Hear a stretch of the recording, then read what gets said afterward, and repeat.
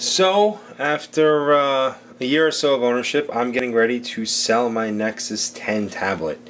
But before I do that, I'm going to wipe it out and do a factory restore on it for two reasons. A, I don't want my personal data being sent out to anyone. And B, you know, it's only fair enough that the person who ends up getting this gets the out-of-box experience, the OBE. Uh, none of my data should be on there and, and my applications and configurations. It's the beauty of Android. You get to configure it any which way you want. So why should my stuff be on there? So it's very simple.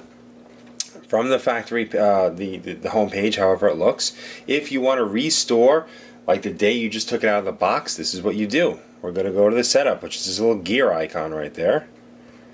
We are going to scroll down to backup and restore right there. From there, very simple. Factory data reset. Now, before I continue, understand this. This is a one-way road. You are not able to change your mind later on and say, "Oh, you know what? I didn't want to back uh, to, to you know to restore my data. I need my data back." No, it doesn't work that way. If you have your data backed up on Dropbox or, or Google Drive, yeah, that data is untouched. But anything that's locally installed on here that you didn't get from the Google Play Store or you sideloaded, you're going to have to do that all over again. Your pictures, if they're not backed up somewhere, you're going to lose that. So make sure you back up your data first. In my case, I have backed up my data. So, hello, there we go. Powering off. So on its own, it's going to go ahead and reboot. So let's see what happens.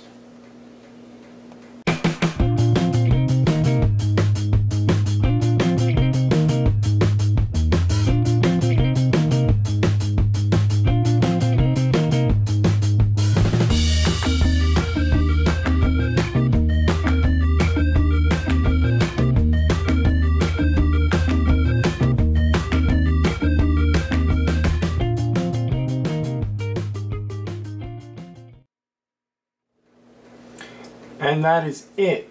We have a completely factory restored, refurbished, or OS restored um, tablet. Uh, it's prompted me to enter Wi-Fi. It doesn't know anything about me yet. It doesn't know what my Gmail account is.